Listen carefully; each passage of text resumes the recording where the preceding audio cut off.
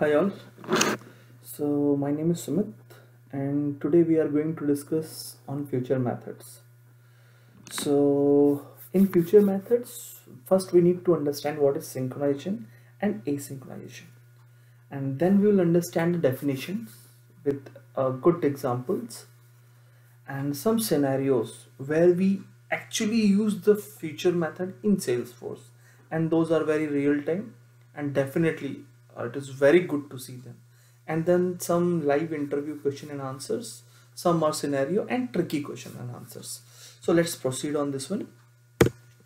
So to understand asynchronization and asynchronization. So let's just uh, view this diagram. So suppose in first picture. So this one is suppose my first picture and this one is my second picture. So suppose two students are there in this we can say student a and here student b. So student a is doing 10th then 12th then engineering. And now he has completed around uh, seven years and zero knowledge of salesforce. Am i right? Because he has not done any training. Oh. Now apart from this is a student b. So here you will see he has done 10 12 engineering plus in last year parallelly he has also done the course of salesforce with certification one year of course. And then finally what he will receive? Seven year with engineering plus one year knowledge of salesforce. Who is the better? Definitely second one will be the better. The reason behind it in parallelly while he is doing his uh, engineering he has completed a salesforce co course as well. So what i'm trying to say here means parallelly he has done. It means the second one will done this one asynchronously. And whereas first one is a synchronization. Means after competition completing his fourth year of four after the four year of engineering he will start again the salesforce for one year. This is what is the synchronization. Means you will do every task one by one. This is called synchronization. Whereas the asynchronization means you are doing step by step but if you have a time you are doing a second thing also. So this is called asynchronous. This is the only difference. So if you are parallelly working it is a asynchronous. I hope you are clear with the synchronization and asynchronization. Now basically what is a future method and how can we declare it? Okay. So future method is that means if you declare a method as a future so it will run in your background. Okay asynchronously. So you can call a future method for executing long run process. Okay so if you have something that you need to update something or some call outs are there or you are um, fetching some data from there or you are trying to remove some DML operations sorry not DML mixed DML operations. So at that moment future is a very useful so here just I have given some example. So this is how we are going to declare as a future. just above of your method you have to declare. But it should be a static as well as void. And it will only take the parameter as a primitive data parameter. This is the only condition. Okay. Now this thing let go in interview so it will give you a more clear picture on interview question and answers. So one more thing uh, when we use the future method actually when we have to use so there are almost three or four scenarios where we are using the future methods. Till means my experience is around uh, nine year of experience. So i have used the future method in uh, these areas. So then first one is avoid mixed dml error means. So what is mixed dml error means so when you performing some dml operations on setup objects like user groups profile permission sets or a queue and in same transaction in, in the same code you are also doing some dml operation on with with on account contact or some sObjects okay?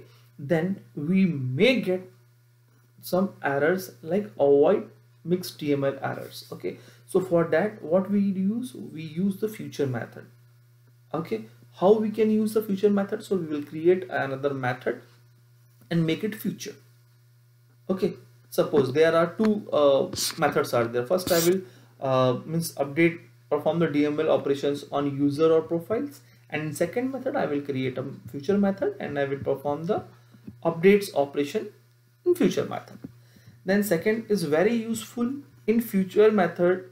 If you will see use trigger. So from trigger we cannot send a callouts but if you use a future method through that we can perform a callout as well. Okay?